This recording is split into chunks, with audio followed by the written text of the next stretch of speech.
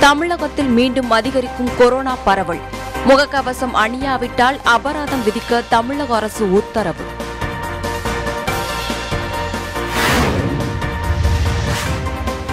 கீழடியில் ஏழாம் கட்ட அகழாய்வு பணிகள் மும்மரம். மிக பழமை வாய்ந்த முதுமக்கள் தாளிகள் கண்டெடுப்பு.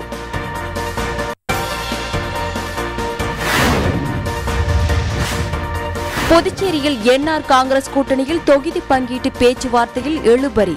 உடன்பாடு எட்டாத நிலையில் வேட்பாளர்கள் அறிவிப்பு.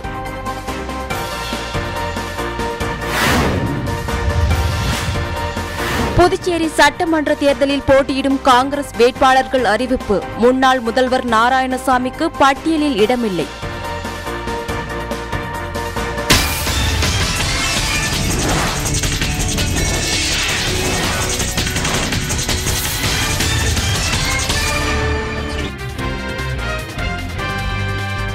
கோடை காலத்தில் சிறுவர்களுக்கு கொரோனா தடுப்பூசி செலுத்தி பரிசோதனை மேற்கொள்ளப்படும் என ஸ்புட்னிக் வி தடுப்பூசி நிறுவனம் தெரிவித்துள்ளது.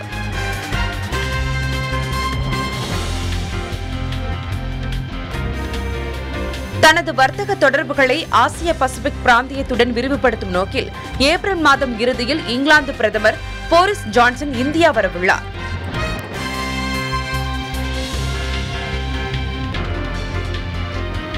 பிஎஸ்என்எல் மற்றும் எம்டிஎன்எல் ஆகிய இரு நிறுவனங்களையும் இணைத்தல் உள்ளிட்ட சீரமைப்பு பணிகளுக்காக மத்திய அரசு ரூபாய் அறுபத்தி ஒன்பதாயிரம் கோடி ஒதுக்கீடு செய்துள்ளது.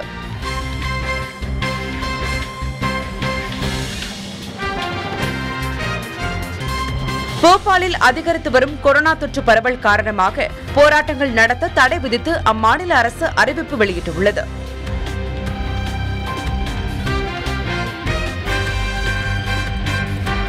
தேர்தலின் போது பாரதிய ஜனதா கட்சியினர் தன்னை கொல்ல சதி திட்டம் தீட்டியிருப்பதாக மேற்கு வங்க முதல்வர் மம்தா பானர்ஜி அதிரடியாக புகார் தெரிவித்துள்ளார்.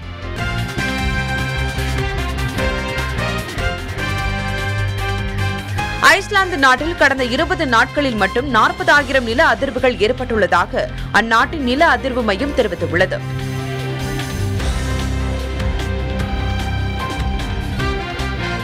ஆஸ்கர் விருது இறுதி பட்டியலில் இருந்து சூரரை போற்று திரைப்படம் எந்த பிரிவிலும் தேர்வாகாமல் வெளியேறியுள்ளதால் சூர்யா ரசிகர்கள் ஏமாற்றம் அடைந்தனர்.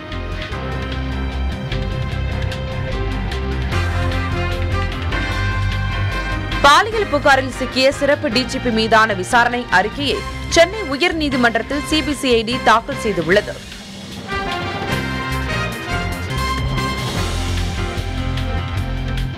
டாஸ்மாக் கடைகளில் விலை பட்டியல் வைக்கவும் பில் வழங்கவும் சுற்றறிக்கை அனுப்பப்பட்டுள்ளதாக தமிழக அரசு தெரிவித்துள்ளது.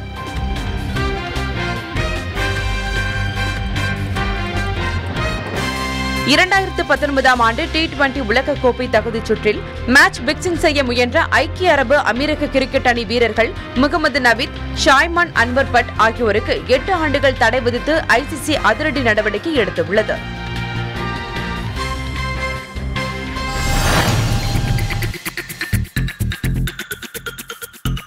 நாடு முழுவதும் கொரோனா தொற்று அதிகரித்து வரும் நிலையில் நோய் பரவலை தடுப்பது குறித்து மாநில முதலமைச்சர்களுடன் பிரதமர் நரேந்திர மோடி இன்று காணொலி காட்சி மூலம் ஆலோசனை நடத்தவுள்ளார். இந்தியாவின் பல தொகுதிகளிலும் கொரோனா வைரஸ் பரவல் அதிகரித்து வருகிறது. குறிப்பாக மகாராஷ்டிராவில் கொரோனா பரவல் இரண்டாவது அலை ஏற்பட உள்ளதாக மத்திய குழு எச்சரித்து உள்ளது இந்நிலையில் பிரதமர் நரேந்திர மோடி இன்று அனைத்து மாநில முதலமைச்சர்களுடன் கொரோனா தொற்று பரவலை தடுப்பது குறித்து ஆலோசனை நடத்தவுள்ளார். இன்று நண்பகல் பனிரெண்டு முப்பது மணியளவில் காணொலி காட்சி வழியாக இந்த ஆலோசனை நடத்தப்படும் என அறிவிக்கப்பட்டுள்ளது.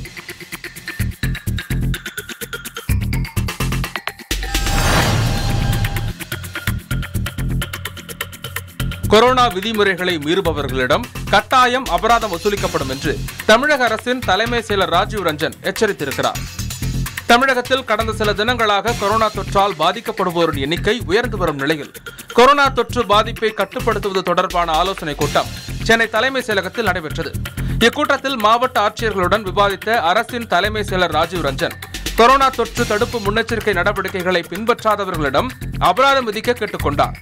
மேலும் காய்ச்சல் முகாம்களை அதிகப்படுத்தி கொரோனா தொற்று உள்ளவர்களை கண்டறிந்து சிகிச்சை அளிக்க வேண்டும். கொரோனா தொற்றால் பாதிக்கப்பட்டவர்களை தொடர்ந்து கண்காணிக்க வேண்டும். தகுதி வாய்ந்த நபர்களை அடையாளம் கண்டு தடுப்பூசி செலுத்திக் கொள்ள செய்ய வேண்டும் போன்றவற்றை வலியுறுத்தினார். இதனிடையே நாமக்கல் மாவட்டத்தில் கொரோனா பாதுகாப்பு நடவடிக்கைகளை மக்கள் பின்பற்றுகின்றனரா என்பதை கண்காணிக்க கொரோனா தடுப்பு பறக்கும் படை என்ற சுகாதார குழுவை அமைத்து மாவட்ட ஆட்சியர் மெகராஜ் உத்தரவிட்டார். இப்படை கொரோனா நோய் தொற்று தடுப்பு நடவடிக்கைகளை பின்பற்றாதவர்களுக்கு அபராதம் விதிக்கும் நடவடிக்கையில் ஈடுபட்டு வருகிறது.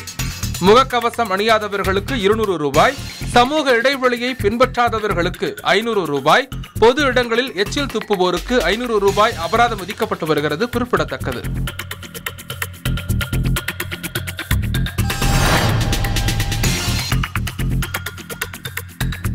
கீழடி ஏழாம் கட்ட அகழாய்வில் கொந்தகை தளத்தில் மூடியுடன் கூடிய முதுமக்கள் தாழி கண்டெடுக்கப்பட்டுள்ளது.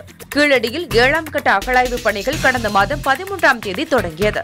கீழடி அகரம் கொந்தகை ஆகிய மூன்று இடங்களிலும் தலா ஒரு குழி மட்டும் தோண்டப்பட்டு அகழாய்வு பணிகள் நடந்து வருகின்றன. கொந்தகை அகழாய்வு தளத்தில் கடந்த ஆறாம் கட்ட அகழாய்வு பணியின் போது சிறியதும் பெரியதுமாக இருபத்தி ஒன்பது முதுமக்கள் தாழிகள் கண்டெடுக்கப்பட்டன.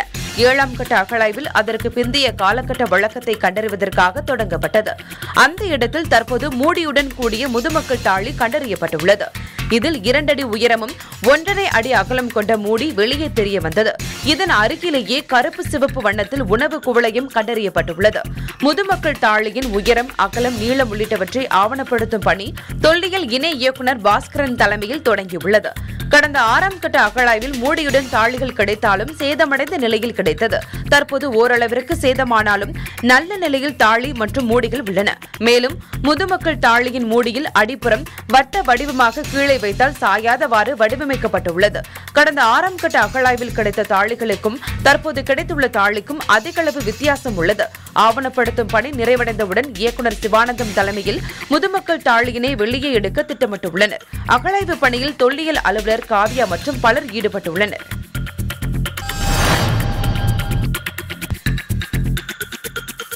புதுச்சேரியில் உள்ள முப்பது தொகுதிகளில் பாரதிய ஜனதா ஒன்பது தொகுதிகளிலும் அதிமுக ஐந்து தொகுதிகளிலும் போட்டியிடுவதாக வேட்பாளர்கள் அறிவிப்பின் மூலம் உறுதியாகியுள்ளது.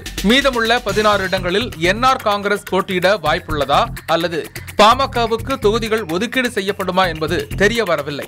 புதுச்சேரியில் ரங்கசாமி தலைமையிலான என்ஆர் காங்கிரஸ் கூட்டணியில் அதிமுக பாரதிய ஜனதா பாமக இடம்பெற்றுள்ள நிலையில் யார் யாருக்கு எத்தனை தொகுதிகள் என்பது குறித்து நடைபெற்ற பேச்சுவார்த்தையில் இழுபறி நீடித்து வந்தது. இந்த நிலையில் அதிமுகவில் போட்டியிடும் ஐந்து வேட்பாளர்களின் தொகுதி மற்றும் வேட்பாளர்களையும் ஒன்பது தொகுதிகளில் பாரதிய ஜனதா கட்சி போட்டியிடும் வேட்பாளர்களின் பட்டியலையும் அவ்விரு கட்சிகளும் அறிவித்துள்ளன. அதே நேரத்தில் தொகுதிகள் ஒதுக்கீடு செய்யாவிட்டால் அனைத்து தொகுதிகளிலும் தனித்து போட்டியிடும் என பாமகவும் அறிவித்துள்ளது. இந்நிலையில் உப்பளம் தொகுதியில் அன்பழகன் உருளையன்பேட்டையில் ஓம் சக்தி சேகர் காரைக்கால் தெற்கு தொகுதியில் அசனா முத்தியால்பேட்டையில் வையாபுரி மணிகண்டன் முதலியார்பேட்டையில் பாஸ்கர் ஆகியோர் அதிமுக வேட்பாளர்களாக அறிவிக்கப்பட்டுள்ளனர். இதேபோல ஒன்பது தொகுதிகளில் போட்டியிடும் வேட்பாளர்களையும் பாரதிய ஜனதா கட்சி அறிவித்துள்ளது.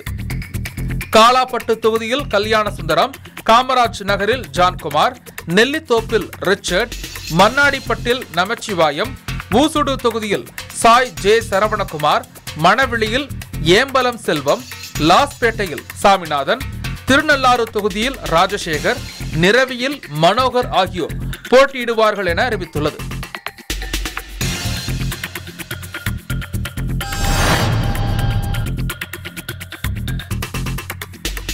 தமிழகத்தில் வாக்குப்பதிவு நாளான ஏப்ரல் ஆறாம் தேதி பொது விடுமுறை அளித்து தமிழக அரசு அரசாணை வெளியிட்டுள்ளது. தமிழக சட்டப்பேரவைக்கு தேர்தல் ஒரே கட்டமாக வரும் ஏப்ரல் ஆறாம் தேதி நடைபெற உள்ளது அதற்காக அரசியல் கட்சிகள் வேட்புமனு தாக்கல் மற்றும் பிரச்சார பணிகளில் விறுவிறுப்பாக ஈடுபட்டு வருகின்றனர். இந்நிலையில் தமிழகத்தில் வாக்குப்பதிவு நாளான ஏப்ரல் ஆறு அன்று பொது விடுமுறை அளித்து தமிழக அரசு அரசாணை வெளியிட்டுள்ளது. தமிழகத்தில் வாக்குப்பதிவு சதவிகிதம் உயர்வதற்கு இது காரணமாக அமையும் என்றும் அரசு எதிர்பார்க்கிறது. அதேபோல தேர்தல் நாளன்று அனைத்து ஊழியர்களுக்கும் ஊதியத்துடன் விடுமுறை அளிக்க வேண்டும் என்றும் தொழிலாளர் நல ஆணையர் உத்தரவு பிறப்பித்துள்ளது. குறிப்பிடத்தக்கது.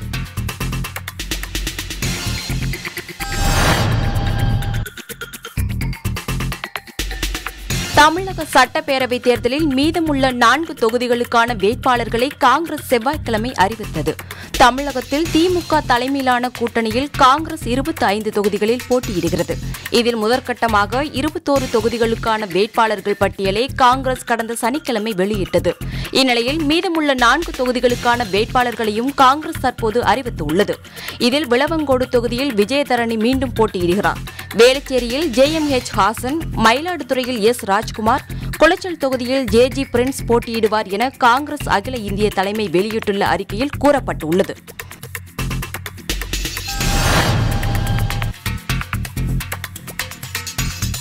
புதுச்சேரியில் காங்கிரஸ் கட்சி மொத்தம் பதினைந்து இடங்களில் போட்டியிடுகிறது. இந்நிலையில் பதினான்கு தொகுதிகளுக்கான வேட்பாளர்கள் பட்டியல் அறிவிக்கப்பட்டுள்ளது.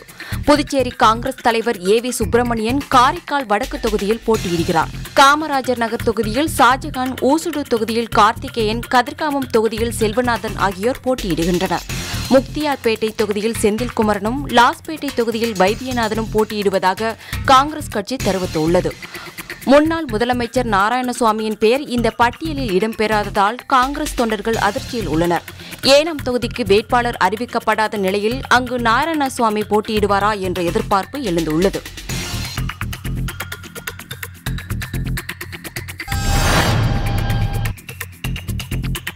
உலகம் நவீனமயமாகிவிட்ட நிலையில் திமுக தலைவர் மு ஸ்டாலின் இன்னும் மனுக்களை வாங்கி மக்களை ஏமாற்றி வருவதாக முதலமைச்சர் எடப்பாடி பழனிசாமி குற்றம் சாட்டியுள்ளார். தஞ்சையில் பிரச்சாரம் மேற்கொண்ட அவர் இவ்வாறு விமர்சித்தார்.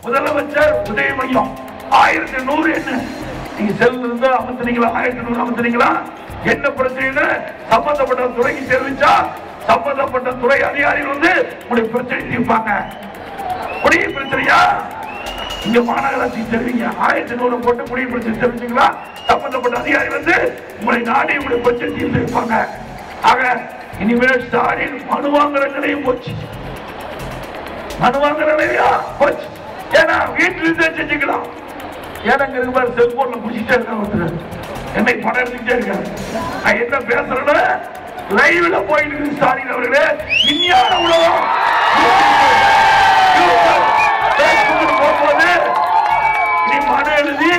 பொட்டியில போட்டு கூட்டு மூட்டி சீல வச்சு உடைக்கிற காலம்லாம் போயிட்டு இனி வீட்டில் இருந்து அவரவர் செல்போன்ல இருந்து தங்களுக்கு என்ன பிரச்சனை இருந்தது அரசுடைய கவனத்தில் கொண்டு வந்தால் பிரச்சனை தீர்க்கப்படும் என்ற நிலையை நாங்கள் உருவாக்கி தந்திருக்கிறோம்.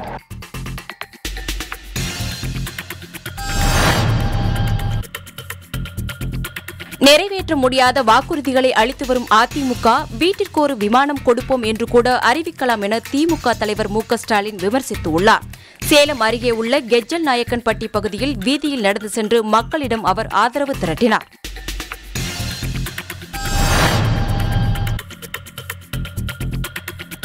பொதுச்சின்னம் தொடர்பாக இந்திய ஜனநாயக கட்சியின் விண்ணப்பத்தை இன்றைக்குள் பரிசீலித்து உத்தரவு பிறப்பிக்க வேண்டுமென தேர்தல் ஆணையத்துக்கு சென்னை உயர்நீதிமன்றம் உத்தரவிட்டுள்ளது. தமிழ்நாடு மற்றும் புதுச்சேரியில் போட்டியிடும் இந்திய ஜனநாயக கட்சியின் அனைத்து வேட்பாளர்களுக்கும் பொதுச்சின்னம் ஒதுக்கக் கோரி அக்கட்சியின் தலைவர் ரவி பச்சமுத்து தொடர்ந்த வழக்கு தலைமை நீதிபதி அமர்வில் விசாரணைக்கு வந்தது. இதேபோல பொதுச்சின்னம் கோரி புதிய தமிழகம் கட்சி தலைவர் டாக்டர் கிருஷ்ணசாமி சமத்துவ மக்கள் கட்சி தலைவர் சரத்குமார் ஆகியோர் தொடர்ந்த வழக்கிலும் இன்று மாலை நாளைக்குள் உத்தரவு பிறப்பிக்க வேண்டுமென தேர்தல் ஆணையத்துக்கு தலைமை நீதிபதி அமர்வு உத்தரவு பிறப்பித்தது.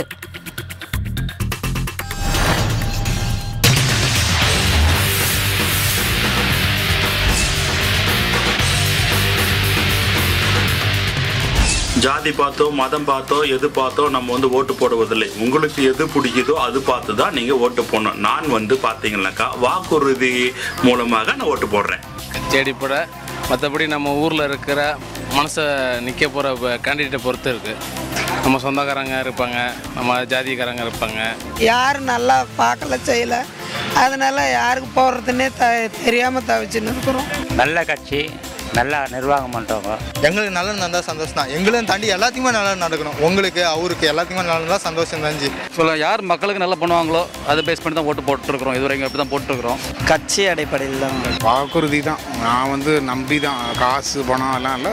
உண்மையாக வாக்குறுதிக்காக ஓட்டு போடுறேன் அவ்வளோதான் எங்களுக்கு எந்த இதுவும் நல்லது செய்யல. எந்த க எந்த ஆளுங்களும் நல்லது செய்யல. ஏன்னா எல்லாருமே சொன்னதை காப்பாற்றுவாங்களா வாக்குறுதியை காப்பாற்றுவாங்க காப்பாற்றுற சூழ்நிலை இன்னைக்கு இல்லை. காசுங்கிறது எல்லாரும் கொடுக்க ஆரம்பிச்சிட்டாங்க. காசு எல்லாரும் கொடுக்குறாங்க.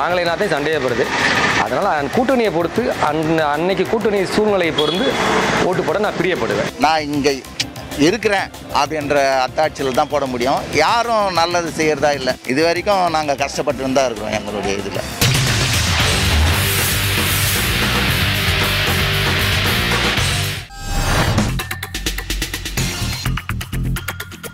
வேலூர் அண்ணா சாலையில் உள்ள தனியார் ஹோட்டலில் ராமு என்பவர் சர்வராக பணியாற்றி வருகிறார். கடந்த பதிமூன்றாம் தேதி வேலூர் சிஎம்சி கண் மருத்துவமனை அருகே ராமு சென்று கொண்டிருந்த போது கீழே நூறு ரூபாய் தாள்கள் கொண்ட பத்தாயிரம் ரூபாய் கட்டை கண்டுள்ளார். அதை எடுத்த ராமு வேலூர் தெற்கு காவல் நிலைய ஆய்வாளர் கலையரசியிடம் ஒப்படைத்தார்.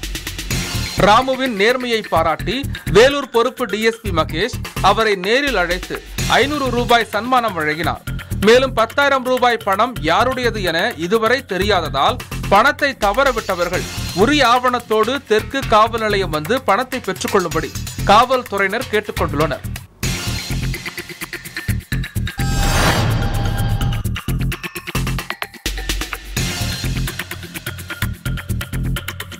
ராணிப்பேட்டை மாவட்டத்தில் கிராம நிர்வாக அலுவலர் பணி ஆணை பெற்று பணிக்கு வந்த இளைஞர் மற்றும் அவரது தந்தை தாய் என மூன்று பேரும் கைது செய்யப்பட்டுள்ளனர். ராணிப்பேட்டை மாவட்டம் ஆற்காடு வட்டாட்சியர் அலுவலகத்தில் காட்பாடி வளவன்கோட்டை பகுதியைச் சேர்ந்த கோபிநாத் என்பவர் கிராம நிர்வாக அலுவலராக பணியில் இணைவதற்காக அரசு பணி நியமன ஆணையை கொண்டு வந்து ஆற்காடு வட்டாட்சியரிடம் கொடுத்துவிட்டு காத்திருந்தார். அரசு பணி நியமன ஆணையை ஆய்வு மேற்கொண்ட வட்டாட்சியர் போலியானது என சந்தேகம் அடைந்ததால் சார் ஆட்சியரிடம் அழைத்து சென்று விசாரணை மேற்கொண்டார். விசாரணையில் வேலூர் மாவட்டம் காட்பாடி அடுத்த அரும்பாக்கம் பகுதியைச் சேர்ந்த சுப்பிரமணி என்பவரிடம் ஐந்து லட்சம் ரூபாய் கொடுத்து போலியாக பணி நியமன ஆணை பெற்றுக் கொண்டது தெரியவந்தது. இது தொடர்பாக கோபிநாத்தையும் அவரது குடும்பத்தினரையும் கைது செய்த காவல்துறையினர் போலி பணி நியமன ஆணையை தயாரித்து கொடுத்த சுப்பிரமணி என்ற நபரை தேடி வருகின்றனர்.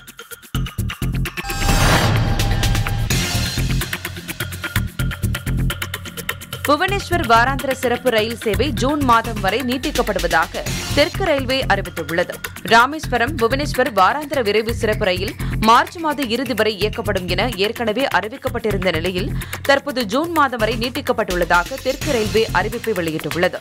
இந்த ரயில்கள் ராமநாதபுரம் பரமக்குடி மானாமதுரை சிவகங்கை தேவக்கோட்டை ரோடு காரைக்குடி புதுக்கோட்டை உள்ளிட்ட ரயில் நிலையங்களில் நின்று செல்லும். இந்த ரயில்களுக்கான பயணச்சீட்டு முன்பதிவு தற்போது நடைபெற்று வருகிறது.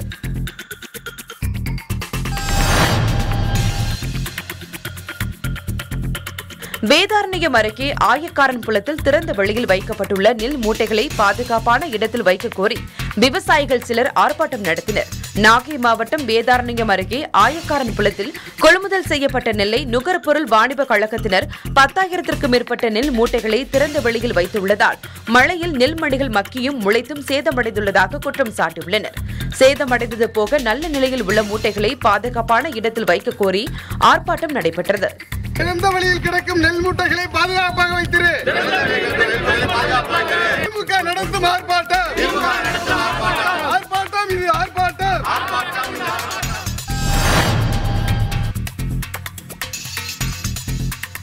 தேர்தல் காப்பு தொகையாக கொடுத்து நூதன முறையில் சுயேட்சை வேட்பாளர் ஒருவர் வேட்புமனு தாக்கல் செய்துள்ளார். நெல்லை மாவட்டம் திசையின் விளை பகுதியைச் சேர்ந்தவர் ராஜு.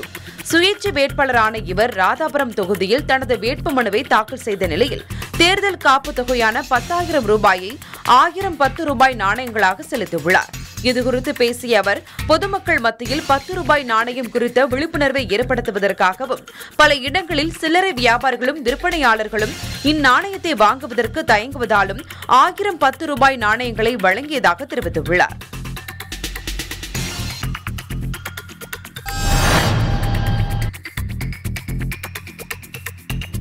கிருஷ்ணகிரி மாவட்டம் வேப்பனப்பள்ளி சட்டமன்ற தொகுதியில் சமூக ஆர்வலர் அமானுலா சுயேட்சை வேட்பாளராக போட்டியிட வேட்புமனு தாக்கல் செய்துள்ளார் வேப்பனப்பள்ளியை அடுத்துள்ள அத்திமுகம் கிராமத்தைச் சேர்ந்த அமானுலா அப்பகுதியில் சுமார் பத்து ஆண்டுகளுக்கு மேலாக தனது மருத்துவமனையில் நோயாளிகளுக்கு இலவசமாக சிகிச்சை அளித்து வருகிறார்.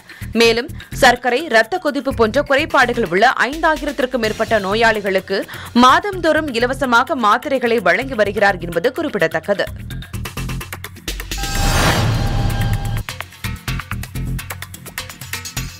ரத்தத்தின் ரத்த சொந்தங்களாகிய நாங்கள் அரசியலுக்கு வராமலேயே ரத்த தானம் செய்துள்ளோம். மேலும் எங்களுக்கு வாய்ப்பு அளித்தால் ரத்த சொந்தங்களாக மக்களுக்கு உழைப்போம் என்று மக்கள் நீதி மையம் தலைவர் கமலஹாசன் கூறினார். சேலம் மாவட்டம் ஓமலூர் சட்டமன்ற தொகுதியில் மக்கள் நீதி மையம் சார்பில் போட்டியிடும் வேட்பாளர் சீனிவாசனை ஆதரித்து நடைபெற்ற கூட்டத்தில் கமல்ஹாசன் பேசினார். நான் சம்பாதிக்கும் காசு மக்கள் கொடுத்தது. நான் ஊழல் செய்து பணம் சம்பாதிக்கவில்லை என்று கூறிய கமல்ஹாசன் என் சொந்த செலவில் தான் விமானத்தில் பறந்து வருகிறேன் என்றார் தற்போது ஆட்சியில் உள்ளவர்களும் ஆட்சியில் இருந்தவர்களும் குற்றச்சாட்டுக்கு ஆளானவர்கள் என்று கூறிய அவர் மக்கள் காசுக்கு வாக்களிக்க கூடாது ஒரு மாற்றத்தை ஏற்படுத்த வேண்டும் என்று கேட்டுக்கொண்டார்.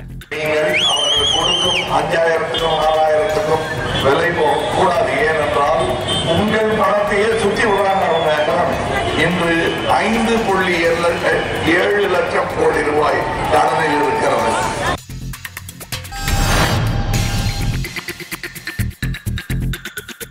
திருவாரூர் சட்டமன்ற தொகுதி மக்கள் நீதி மய்யம் வேட்பாளராக கபிலரசன் என்பவர் அறிவிக்கப்பட்டுள்ளார்.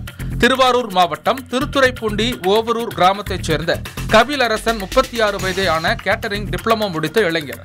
திருவாரூரில் கல்லூரி படிப்பை முடித்த கபிலரசன் சென்னையில் கேட்டரிங் மற்றும் டிராவல்ஸ் தொழில்களை நடத்தி வருகிறார் என மக்கள் நீதி மய்யத்தின் தலைவர் கமல்ஹாசன் தெரிவித்துள்ளார்.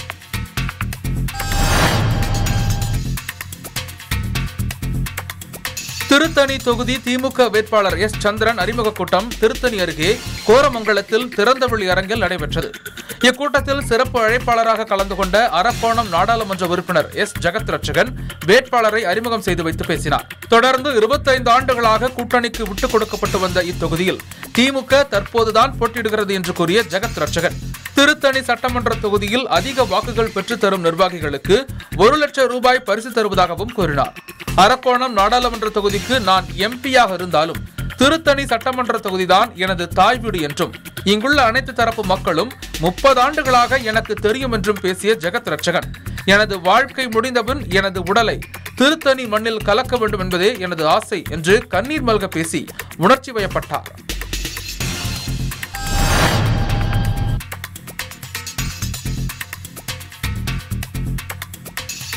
மயிலாடுதுறை மாவட்டம் சீர்காழியில் அதிமுக கூட்டணி கட்சியின் செயல் வீரர்கள் கூட்டம் நடைபெற்றது. இதில் கலந்து கொண்ட பின் செய்தியாளர்களிடம் பேசிய அமைச்சர் ஓ எஸ் மணியன் ஜெயலலிதாவின் மறைவுக்கு கருணாநிதி மற்றும் அன்பழகன் தான் காரணம் என குற்றம் சாட்டினார். காரணமானவர்கள் திராவிட முன்னேற்ற கழகம்தான். கலைஞர் கருணாநிதி அவர்கள்தான் திராவிட முன்னேற்ற கழகம்தான். பேராசிரியர் அன்பழகன் அவர்கள்தான் புரட்சி தலைவி அம்மாவுடைய மரணத்திற்கு மூல காரணமாக இருந்தவர்கள்.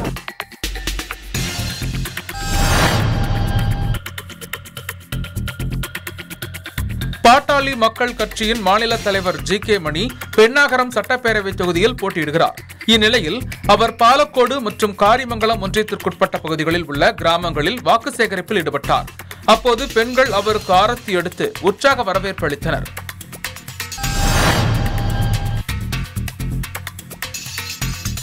புதுச்சேரியைச் சேர்ந்த பெண் தாதா எழிலரசியை காவல்துறையினர் கைது செய்தனர். காரைக்கால் மாவட்டம் திருப்பட்டினத்தைச் சேர்ந்த ராதாகிருஷ்ணன் கடந்த இரண்டாயிரத்து பதிமூன்றாம் ஆண்டு படுகொலை செய்யப்பட்டார். அதற்கு பழி தீர்க்க களமிறங்கிய அவரின் இரண்டாவது மனைவி எழிலரசி பல்வேறு குற்றச் செயல்களில் ஈடுபட்டதாக கூறப்படுகிறது. அவர் மீது பல்வேறு வழக்குகள் நிலுவையில் உள்ள நிலையில் புதுச்சேரி மாநில தலைவர் முன்னிலையில் எழிலரசி பாரதிய ஜனதாவில் இணைந்தார். இந்நிலையில் அவரை தேடி வந்த காவல்துறையினர் நாகை மாவட்ட ஆட்சியர் அலுவலகம் அருகே சுற்றி வளைத்து கைது செய்தனர். அவரிடம் நடத்தப்பட்ட விசாரணையில் சட்டமன்ற தேர்தலில் போட்டியிட நிரவி திருப்பட்டினம் தொகுதியில் சுயேட்சையாக வேட்புமனு தாக்கல் செய்திருப்பது தெரிய வந்துள்ளது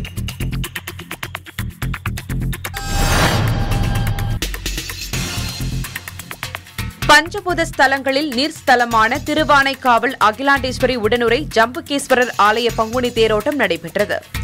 திருச்சி திருவானைக்காவல் அருள்மிகு அகிலாண்டேஸ்வரி ஜம்புகேஸ்வரர் ஆலயம் மிகவும் பிரசித்தி பெற்ற கோவிலாகும். இக்கோவிலின் பிரம்மோற்சவ பங்குனி திருவிழா கடந்த இருபத்தி இரண்டாம் தேதி கொடியேற்றத்துடன் தொடங்கியது. விழாவின் முக்கிய நிகழ்வான திருத்தேரோட்டம் வெகு விமரிசையாக நடைபெற்றது. முன்னதாக அலங்கரிக்கப்பட்ட இரண்டு பிரம்மாண்டமான திருத்தேரில் சுவாமியும் அம்பாளும் அகிலாண்டேஸ்வரி தாயாரும் எழுந்தருளி பக்தர்களுக்கு காட்சி அளித்தனர். பின்னர் பக்தி கோஷமிட்டவாறு சிவனடியார்கள் முன் செல்ல திருத்தேரை பக்தர்கள் வடம் பிடித்து இழுத்து சென்றனர். இதில் ஆயிரக்கணக்கான பக்தர்கள் கலந்து கொண்டனர்.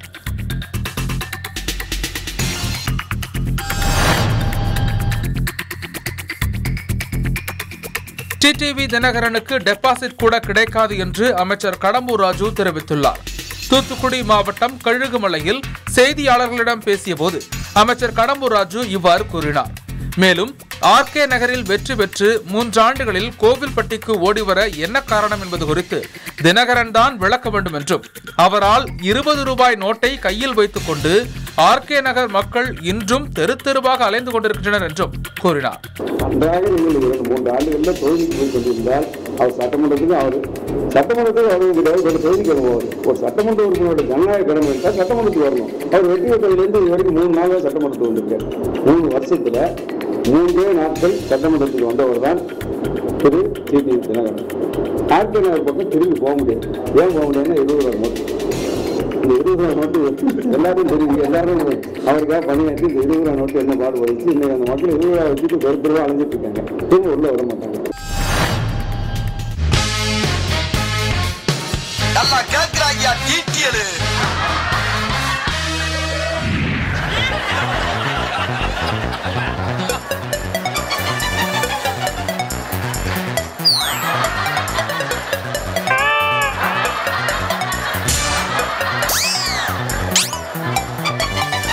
அப்படின்னா கேமில் வந்து பத்து பதினொன்று நான் விளையாட வரைக்கும் நாங்கள் ஒரு ஆறு பேர் சேர்ந்து விளையாடுவோம். எட்டு மெயின் வருவாங்க. அதுக்கப்புறம் நான் பார்த்தது இல்லை யாரும் விளையாடி.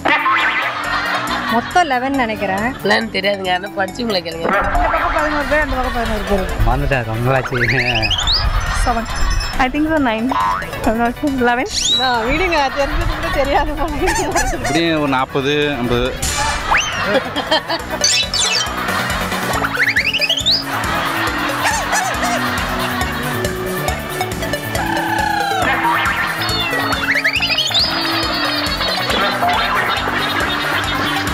மொத்தம் பன்னெண்டு பேர்.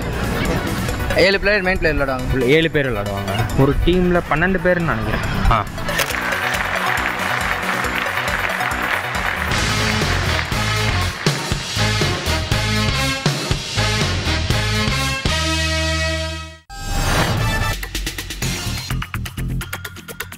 தூத்துக்குடி மில்லர்புரத்தில் உள்ள பாபு சிதம்பரனார் கலை அறிவியல் கல்லூரியில் திருநங்கைகள் மூலமாக தேர்தல் விழிப்புணர்வு நிகழ்ச்சி நடத்தப்பட்டது. மாவட்டத்தில் நூறு சதவீத வாக்குப்பதிவை வலியுறுத்தி மெய் சித்திர விழிப்புணர்வு நிகழ்ச்சிகள் நடத்தப்பட்டன. நிகழ்ச்சியில் பேசிய மாவட்ட ஆட்சித்தலைவர் செந்தில்ராஜ் தேர்தல் விழிப்புணர்வில் திருநங்கைகளின் பங்கு மிக முக்கியமானது என குறிப்பிட்டு பேசினார். இதையடுத்து ஆட்சியர் தொடங்கி வைத்த கையெழுத்து இயக்கத்தில் கலந்து கொண்டு அனைவரும் வாக்களிப்போம் என திருநங்கைகள் கையெழுத்திட்டனர்.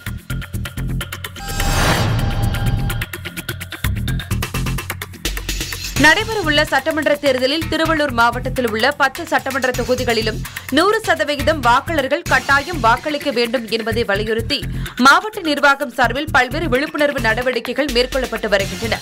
அதன்படி திருவள்ளூர் நகராட்சிக்குட்பட்ட பெரியகுப்பம் பகுதியில் வாக்களிக்க வருகை தர வேண்டி அழைப்புதல் வழங்கும் நிகழ்ச்சி நடைபெற்றது. திருவள்ளூர் மாவட்ட தேர்தல் அதிகாரியும் மாவட்ட ஆட்சியருமான பொன்னையா கலந்து கொண்டு பொதுமக்களிடம் அழைப்புதலை கொடுத்து கட்டாயம் வாக்களிக்க வேண்டும் என வலியுறுத்தினார். திருமணத்திற்கு விருந்தினர்களை அழைக்க அழைப்புதல் தருவது போல வெற்றிலை பாக்கு பல வகையான பழங்கள் இனிப்பு ஆகியவற்றுடன் மேளதாளம் முழங்க வீடு வீடாக சென்று அழைப்புதல் கொடுத்து கட்டாயம் அனைவரும் வாக்களிக்க வேண்டும் என கேட்டுக்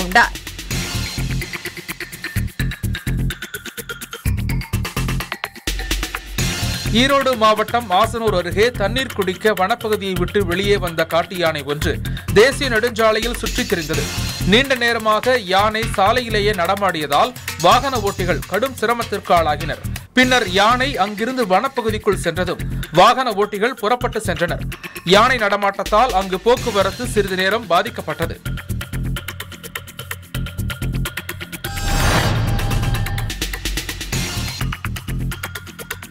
செங்கல்பட்டு மாவட்டம் திருப்போரூர் சட்டப்பேரவை தொகுதியில் வாக்குப்பதிவுக்காக தலா நானூற்று எண்பத்து நான்கு மின்னணு வாக்குப்பதிவு இயந்திரம் மற்றும் மின்னணு கட்டுப்பாட்டு இயந்திரம் கொண்டுவரப்பட்டது. இந்த மின்னணு இயந்திரங்களின் ஆவணங்களை தொகுதியின் தேர்தல் நடத்தும் அலுவலர் ஆய்வு செய்தபோது சோழிங்கநல்லூர் மற்றும் செங்கல்பட்டு ஆகிய இருவேறு சட்டப்பேரவை தொகுதிகளுக்கு வழங்கப்பட்ட இரண்டு மின்னணு கட்டுப்பாட்டு இயந்திரங்கள் தவறுதலாக திருப்போரூர் தொகுதிக்கு வந்துள்ளது தெரியவந்தது. இதையடுத்து இரண்டு மின்னணு கட்டுப்பாட்டு இயந்திரங்களை வெளியில் எடுப்பதற்கான ஆலோசனைக் கூட்டம் நடைபெற்றது. இதில் அனைத்து கட்சி பிரமுகர்களின் முன்னிலையில் இருவேறு தொகுதியைச் சேர்ந்த இரண்டு இயந்திரங்கள் வெளியே கொண்டு வரப்பட்டு அந்தந்த தொகுதிகளுக்கு அனுப்பி வைக்கப்பட்டன.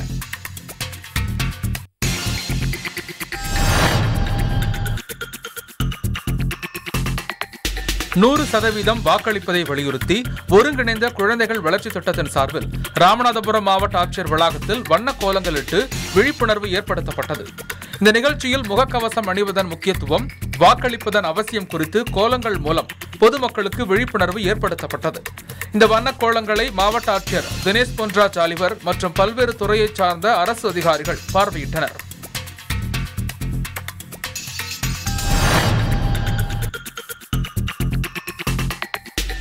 சீர்காழி அருகே திருமணத்திற்கு சென்று திரும்பிய குடும்பத்தினரிடம் இருந்து தேர்தல் பறக்கும் படை அதிகாரிகள் நகையை பறிமுதல் செய்தனர். மயிலாடுதுறையைச் சேர்ந்த ஆரோக்கிய சகாயம் குடும்பத்தினருடன் சென்னையில் நடைபெற்ற உறவினர் இல்ல திருமணத்தில் சென்றுவிட்டு சீர்காழி திரும்புகையில் தாங்கள் அணிந்திருந்த நகைகளை பாதுகாப்புக்காக கழட்டி வைத்திருந்துள்ளனர். இதுகுறித்து ஆரோக்கிய சகாயம் குடும்பத்தினர் எடுத்து கூறியும் நகைக்கான உரிய ஆவணங்கள் இல்லை என கூறி முப்பது சவரன் நகையையும் பறக்கும்படை அதிகாரிகள் பறிமுதல் செய்தனர். இதனால் இரண்டு குழந்தைகளுடன் வெகு நேரம் வட்டாட்சியர் அலுவலகத்தில் அவர்கள் காத்திருக்க வேண்டிய சூழல் ஏற்பட்டது. பறிமுதல் செய்யப்பட்ட நகைகள் வட்டாட்சியரிடம் ஒப்படைக்கப்பட்டுள்ளது.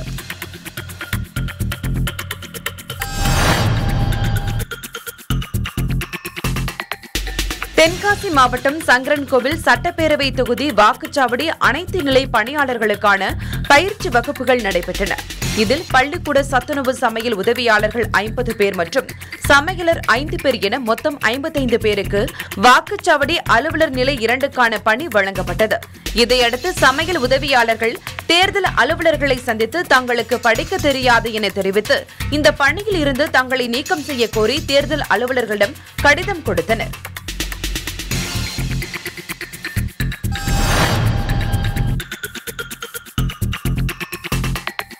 கிருஷ்ணகிரி மாவட்டம் புளியம்பட்டி கிராமத்தில் கோவிட் தடுப்பூசி போட்டுக்கொள்ள முன்னூறு பேர் வந்த நிலையில் நூற்று ஐம்பது தடுப்பூசிகளை மட்டும் கொண்டு வந்ததால் பொதுமக்கள் ஏமாற்றத்துடன் திரும்பி சென்றனர்.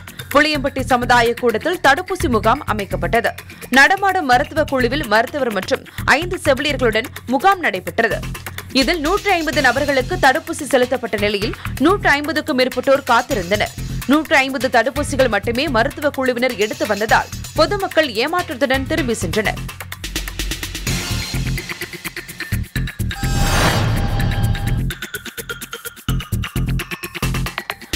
கோயம்புத்தூரில் கொரோனா நோய் பரவலை தடுப்பதற்காக அடுக்குமாடி குடியிருப்புகளை தனிமைப்படுத்தப்படும் பணி நடைபெற்று வருகிறது. காஞ்சிபுரம் நகராட்சிக்குட்பட்ட பகுதிகளில் கொரோனா தடுப்பு நடவடிக்கைகளின் ஒரு பகுதியாக மாவட்ட ஆட்சியர் மகேஸ்வரி திடீர் ஆய்வு மேற்கொண்டார். இதில் குன்றத்தூரில் மூன்று நபர்களுக்கு மேல் கொரோனா நோய் பாதிக்கப்பட்ட அடுக்குமாடி குடியிருப்புகள் கண்டறியப்பட்டுள்ளது. எனவே அப்பகுதியிலிருந்து நோய் பரவாமல் தடுப்பதற்காக நோய் பாதிப்பு ஏற்பட்ட அடுக்குமாடு குடியிருப்புகளை தனிமைப்படுத்தும் பணிகள் மேற்கொள்ளப்பட்டு வருகிறது என மாவட்ட ஆட்சியர் தெரிவித்துள்ளார்.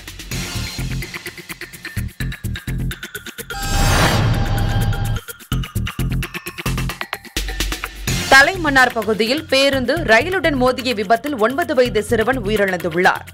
அனுராதபுரத்தில் இருந்து தலைமன்னார் நோக்கி பயணித்த ரயிலும் பாடசாலை மாணவர்களை ஏற்றிச் சென்ற தனியார் பேருந்தும் மோதி விபத்துக்குள்ளானது. இதில் மாணவர் ஒருவர் சம்பவ இடத்திலேயே உயிரிழந்தார். மேலும் பாடசாலை மாணவர்கள் மற்றும் பயணிகள் என இருபத்தைந்து பேர் காயமடைந்துள்ளனர். அவர்கள் அரசு மருத்துவமனையில் அனுமதிக்கப்பட்டுள்ளனர். இவ்விபத்து குறித்து அப்பகுதி போலீசார் விசாரணை மேற்கொண்டு வருகின்றனர்.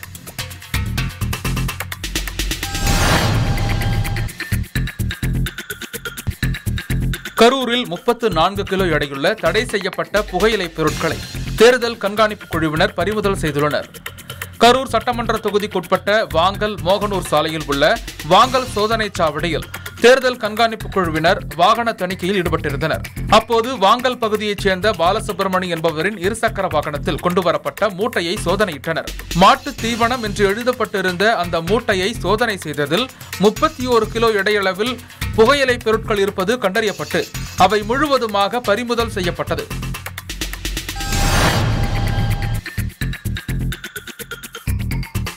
தேனி மாவட்டத்தில் கடந்த சில ஆண்டுகளுக்கு முன் அரசு பேருந்து மோதி ராஜ்குமார் என்பவர் உயிரிழந்தார். இந்த சம்பவம் குறித்து ராஜ்குமாரின் குடும்பம் தொடர்ந்த வழக்கில் இரண்டாயிரத்து பத்தொன்பதாம் ஆண்டு தேனி மாவட்ட கூடுதல் அமர்வு நீதிமன்றம் சுமார் பதிமூன்று லட்சம் ரூபாயை அரசு போக்குவரத்து கழகம் இழப்பீடாக வழங்க உத்தரவிட்டது. இதுவரை இழப்பீடு வழங்கப்படாத காரணத்தால் நீதிமன்ற உத்தரவுப்படி வழக்கறிஞர் முன்னிலையில் விபத்தை ஏற்படுத்திய அரசு பேருந்து ஜப்தி செய்யப்பட்டது.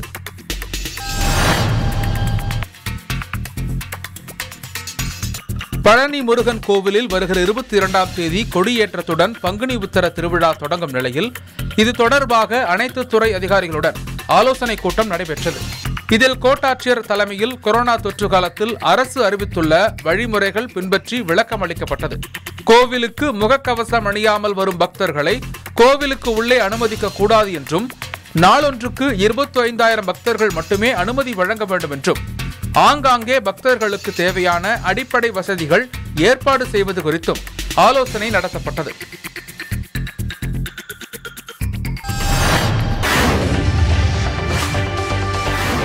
தேனி மாவட்டம் மேற்கு தொடர்ச்சி மலை சொர்க்கம் வனப்பகுதியில் இரண்டாவது நாளாக காட்டுத்தீ பற்றி எரிந்தது. கடந்த பதினைந்தாம் தேதி ஏற்பட்ட காட்டுத்தீயானது நேற்றும் தொடர்ந்தது. காட்டுத்தீ ஏற்பட்ட பகுதி மிகவும் உயரமான மலைப்பகுதி என்பதால் வனத்துறையினர் அங்கு சென்று தீயை கட்டுப்படுத்த முடியாத நிலை ஏற்பட்டுள்ளது. இதனால் மேற்கு தொடர்ச்சி மலையில் உள்ள மரங்களும் அரிய வகை மூலிகை செடிகளும் கருகின. காட்டுத்தீயின் காரணமாக வன விலங்குகள் விளைநிலங்களில் தஞ்சம் அடைவதால் விவசாயிகள் கவலையில் ஆழ்ந்துள்ளனர்.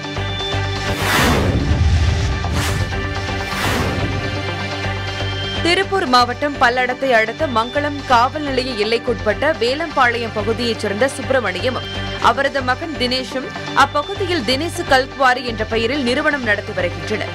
இந்நிலையில் அவர்களது வீட்டிலிருந்து ஆறு பெட்டிகள் ஜெலட்டின் ஒரு பெட்டி டெட்டனேட்டர் உள்ளிட்ட நூற்று ஐம்பது கிலோ வெடிமருந்துகள் அனுமதி இல்லாமல் பதுக்கி வைத்திருந்ததாக போலீசார் அவற்றை பறிமுதல் செய்தனர். மேலும் இவ்வழக்கில் சுப்பிரமணியத்திற்கு வெடிப்பொருட்கள் சப்ளை செய்த சீனிவாசன் என்பவரை போலீசார் தேடி வருகின்றனர். பொது இடங்களில் முகக்கவசம் அணியாதவர்களுக்கு இருநூறு ரூபாய் அபராதம் விதித்து ராமநாதபுரம் மாவட்ட ஆட்சித்தலைவர் தினேஷ் பொன்ராஜ் ஆலிவர் உத்தரவிட்டுள்ளார்.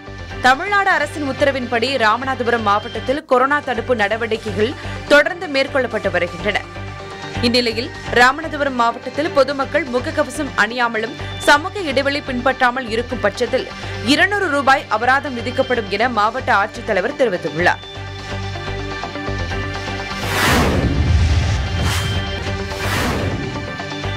தேர்தல் காலங்களில் வணிகர்களின் மீதான நெருக்கடி குறித்து தேர்தல் ஆணையம் பரிசீலிக்க வேண்டும் என்று வணிகர் சங்க பேரமைப்பின் மாநில தலைவர் விக்ரமராஜா கோரிக்கை விடுத்துள்ளார். தமிழ்நாடு வணிகர் சங்கங்களின் சிறப்பு கூட்டத்தில் கலந்து கொண்டு பேசிய அவர் இதனை தெரிவித்தார்.